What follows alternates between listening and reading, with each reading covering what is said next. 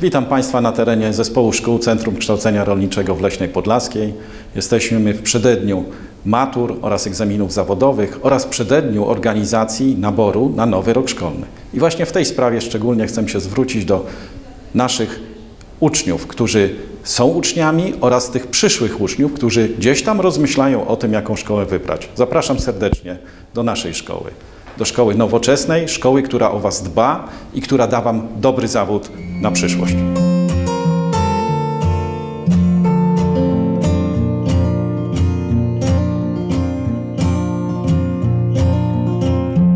Nazywam się Jacek Grądkowski, jestem nauczycielem w Zespole Szkół Centrum Kształcenia Rolniczego imienia Wincentego Witosa w Leśnej Podlaskiej. Uczę na kierunku technik mechanizacji rolnictwa i agrotroniki. W tym kierunku będziecie mogli nauczyć się obsługi ciągników i maszyn rolniczych wyposażonych w systemy e, dotyczące rolnictwa precyzyjnego. Jeden z takich systemów chciałem Wam dzisiaj właśnie pokazać. System ten dotyczy e, nawożenia precyzyjnego azotem roślin. Oparty on jest na czujniku zawartości chlorofilu, który na bieżąco w trakcie jazdy po polu mierzy e, wskaźnik NDVI. Jest to znormalizowany wskaźnik e, intensywności wegetacji. Opiera się on na analizie światła czerwonego, z pasma czerwonego i z pasma bliskiej podczerwieni. E, bada on ilość światła odbitego przez co można pośrednio powiedzieć, że ilość światła pochłoniętego przez e, roślinę. Jest to tak zwany czujnik zawartości chlorofilu, bo to właśnie chlorofil jest odpowiedzialny za e, wybarwienie roślin. Wszystkie maszyny oparte są na standardzie Isobus, dzięki któremu e, poszczególne komponenty agregatu mogą ze sobą się komunikować. Zarówno czujnik, ciągnik, jak i przymocowany, przy, zagregatowany z tyłu rozsiewacz do nawozów. Na podstawie sygnału e, z czujnika zawartości chlorofilu e, przesyłanego do sterownika ciągnika, sterownik ciągnika e, zmienia w trakcie przejazdu, zmienia online tu wysokość dawki e, azotu. Co dzięki temu zyskujemy? Zyskujemy poprawę efektywności ekonomicznej gospodarstwa, zyskujemy poprawę jakości wytwarzanych produktów w gospodarstwie i przy okazji chronimy środowisko, zmniejszając ilość e, azotu dostarczanego do, roślin, nie przenawozimy roślin, ten azot później nie jest e, w żaden sposób ani wymywany, ani nie ulega e, erozji. W związku z tym chronimy dzięki temu również środowisko. Jak działa system? Obecnie w nowoczesnych gospodarstwach wszystkie maszyny są ze sobą połączone. Raz, że maszyny, dwa, że maszyny połączone są z urządzeniami zarówno mobilnymi, jak i e, komputerami stacjonarnymi. Dzięki temu zwiększa się ilość analizowanych danych. Dzięki czujnikowi chlorofilu e, na bieżąco na polu jesteśmy w stanie określić, które fragmenty pola jakiego wymagają nawożenia. Niemniej jednak, pomimo tak zaawansowanego systemu, nie jesteśmy w stanie pominąć wiedzy operatora. To operator musi określić poziom dawkowania. Poziom dawkowania oraz wielkości graniczne, wielkość maksymalną i wielkość minimalną. I wówczas system na bieżąco będzie dostosowywał wielkość nawożenia i zmieniał ilość aplikowanego nawozu w parametrach nastawionych przez operatora. Czujnik, tak jak wspomniałem wcześniej, działa e, w paśmie światła czerwonego i w światła pasma bliskiej podczerwieni. Bada ilość światła odbitego przez roślinę.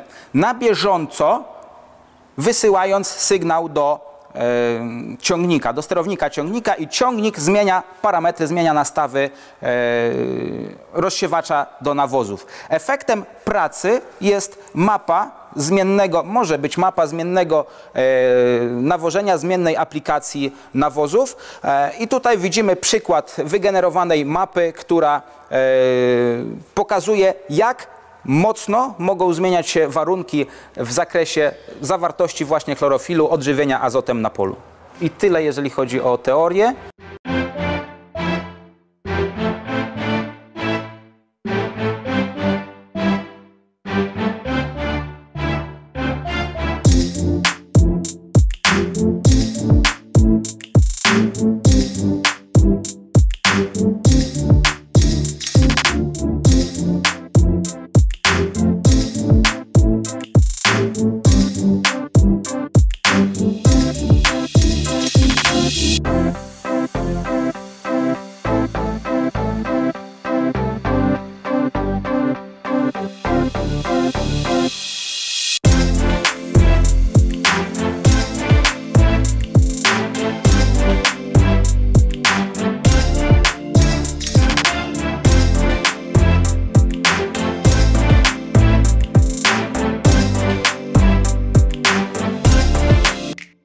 Rozsiewacz możemy ustawić za pomocą standardowych tabel, bądź przy pomocy tabel wgranych do sterownika. My skupimy się na tabelach e, sterownika. W sterowniku mamy wszystkie parametry pracy urządzenia, e, parametry pracy rozsiewacza. Rozsiewacz wyposażony jest w wagę, mamy zasypane w tej chwili 1037 kg. E, głównym parametrem roboczym jest szerokość. Możemy go wpisać bezpośrednio na, na e, sterowniku. My będziemy pracować na szerokości 15 metrach, tak, 15 metrów, tak mamy e, zrobione ścieżki, tak mamy przystosowany, przystosowane pole. Kolejny pa- parametr to jest współczynnik K, akurat w tym przypadku wpisany, zaraz zobaczymy co nam wyjdzie z tabel. E, parametr, który określa e, intensywność otwarcia e, zasów nawozu.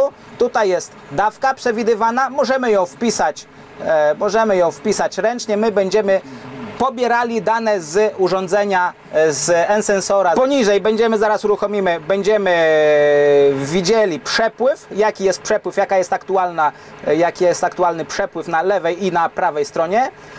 Przewidywany tor, jaki możemy przejechać przy nastawieniach 50 kg, przewidywana powierzchnia, jaką jesteśmy w stanie wysiać. Tutaj już jest poniżej wysiana rzeczywista ilość nawozu i obsiana rzeczywista powierzchnia.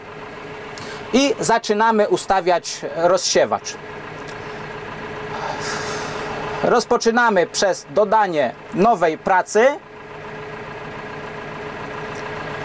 Parametry, główne parametry, my będziemy wysiewać nawóz w dawce około 100 kg.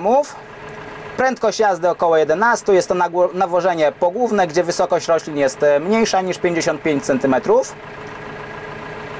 Nawóz z saletra zgranulowana i w tym miejscu będą nam przydatne dane, które pobraliśmy z granulometru. Jak widzimy, cała frakcja nawóz jest jednorodny. E, Ten parametr jest o tyle istotny, dlatego że czasem e, granulometryczność jest e, różna i granula o większa i mniejsza będą miały różną energię kinetyczną nadaną przez tarczę rozsiewacza. Praktycznie cała frakcja jest w przedziale 2 do 3,30 mm i tak sobie to wpiszemy. Tutaj 0. Tutaj 0 i damy 100%. Wartość jest w procentach. Ok. I mamy nawóz, nawóz azotono, azotanowy 34,5 e, azotu. Akceptujemy. Tabela, o, których, o której wspomniałem i wysyłamy w tej chwili dane do pracy. Pierwszym komunikatem jest sugestia sterownika o ustawieniu otworów, czy ma wysyła, otwierać trzy naraz otwory, czy jeden. Jak widzimy przy tej dawce i przy tej prędkości i przy tej szerokości e, poprawne wysiewanie będzie następowało w wyniku e, otworzenia jednego otworu. I druga, drugi parametr jest to parametr ustawienia e, adaptera, limitera do siewu granicznego na 4 stopnie. Te dwie czynności tylko należy wykona wykonać manualnie. Pozostałe czynności są automatyczne. I przechodzimy do pracy. Jak widzimy, już nam się współczynnik zmienił, współczynnik J dla tych parametrów i e, 100 kg. Rozkładamy czujnik.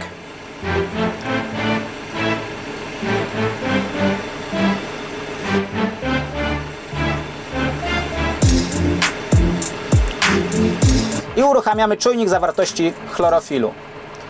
E, Jak wspomniałem, urządzenia połączone są w systemie Isobus, także możemy sobie bez problemu wyświetlać zarówno e, wskazania czujnika zawartości chlorofilu, jak i rozsiewacza na sterowniku właśnie rozsiewacza. Należy wybrać najpierw sposób aplikacji i tutaj mamy e, homogenizację, czyli ujednorod, ujednorodnianie oraz różnicowanie. My sobie weźmiemy ujednolicanie. Rozsiewacz nam będzie działał w ten sposób, że tam, gdzie jest zboże słabsze, będzie sypał więcej azotu. I rozpoczynamy kalibrację i aplikujemy. Jeszcze musimy ustawić wartości graniczne. Wartość minimalną ustawimy sobie na 80 kg. i wartość maksymalną ustawimy sobie na 120 kg. No i tyle, możemy rozpoczynać pracę.